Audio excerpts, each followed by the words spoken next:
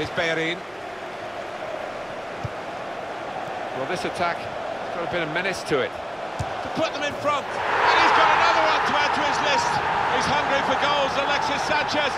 He's taken the chance with typical style. And here he was, faced by the goalkeeper. That was the challenge. In you go. Easy as you like. It looks easy, doesn't it? But I can tell you it's not.